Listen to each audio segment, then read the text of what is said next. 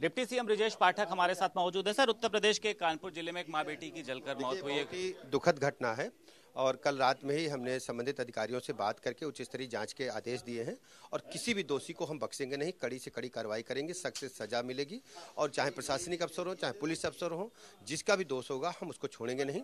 और इसमें हमने उच्च स्तरीय जाँच के साथ साथ ये भी आ, हमने पीड़ित पक्ष के साथ साथ वहाँ के लोकल लोगों से भी बात किया है और किसी भी व्यक्ति की गरीब व्यक्ति की झोपड़ी उजाड़ने का हक किसी भी अधिकारी को नहीं है। और इस मामले में हम सख्त सख्त कार्रवाई करेंगे। वो गुहार लगा रहे थे उसके बावजूद सर राजनीति मुझे मुझे पता चला है और मैंने इस मामले को बहुत ही गंभीरता से लिया है। इसमें हम कड़ी कार्रवाई करेंगे किसी को छोड़ेंगे नहीं। पचास लाख रुपए मुआवजा दोनों लड़कों जो को सरकार मैक्सिमम मदद होगी सरकार पूरी तरह से पीड़ित पक्ष के साथ खड़ी है। अखिलेश यादव कह रहे हैं कि ब्राह्मण परिवारों को लगातार टारगेट किया जा रहा है कांग्रेस पार्टी समाजवादी पार्टी हो या अन्य राजनीतिक दल हो हर समय उनको राजनीति दिखाई देती है। जबकि ये समय पीड़ित पक्ष के साथ खड़े होने का है और सरकार उनके साथ संवेदनशीलता के साथ खड़ी है और हम कड़ी से कड़ी सख्त सख्त कार्रवाई करेंगे और पीड़ित पक्ष के साथ पूरी सरकार खड़ी है।